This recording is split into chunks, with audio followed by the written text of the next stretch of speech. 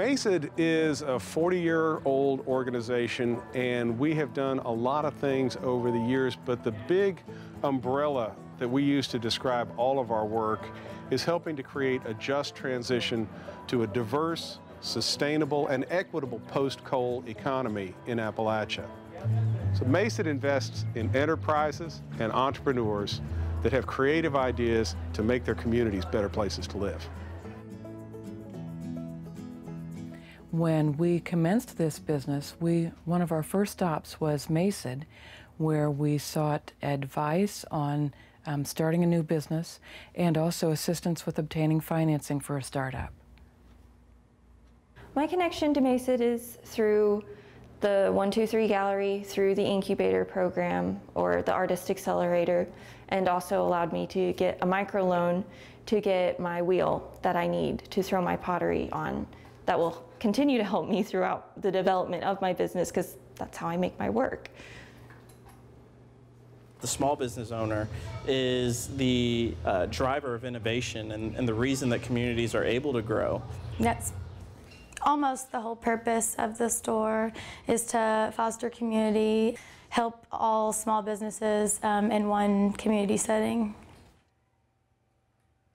I'm grateful that Berea has plenty of small businesses and places to shop, places to eat, places to get insurance, and I think that that's key into creating a dynamic and diverse community.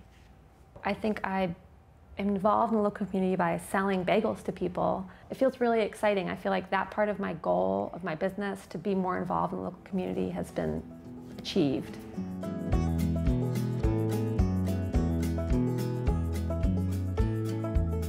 Events like First Friday in Berea and Thursdays on the Triangle here in Hazard, those are really important to the community.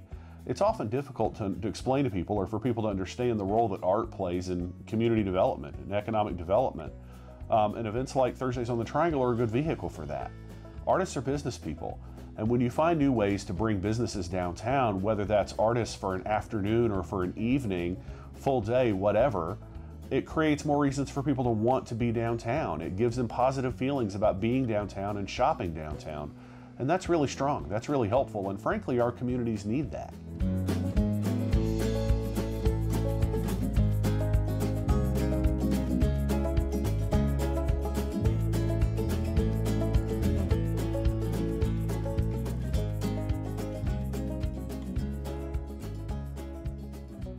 We have a program that's called the Artist Fellows Program. It's a program of Berea Tourism and we provide uh, a stipend, studio space, and gallery space for 16 months.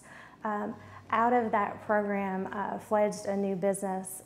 Having the opportunity uh, to partner, Berea Tourism to partner with MACED to provide this business and technical training um, has helped create new local businesses such as Trisha's Urban Willow in our community. To go along with that program, they hooked us up with MACED, um, told us about their um, all the resources they offer, and pretty much taught us, most of us, everything we knew about business. It's my responsibility to our citizens, to our community, to make sure that all the systems that they need to be successful with their business endeavors are in place.